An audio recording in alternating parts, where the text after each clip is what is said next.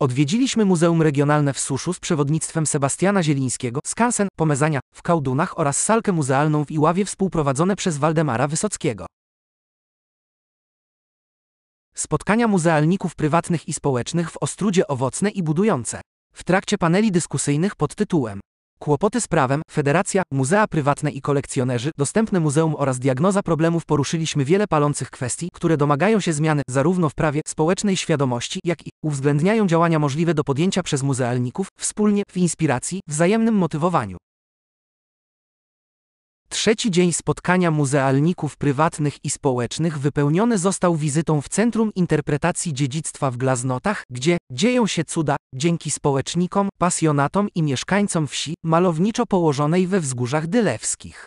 Zobaczyliśmy zabytkowy kościół ewangelicko-metodystyczny, symboliczny krąg wspólnoty kultur, wiatę edukacyjno-informacyjną, zegar astronomiczny oraz świeżo nabyte siedlisko z przeznaczaniem na siedzibę centrum. Mieliśmy okazję zobaczyć i dotknąć fenomenalną przestrzeń tworzoną społecznym wspólnym działaniem, przyrodniczymi i kulturowymi walorami.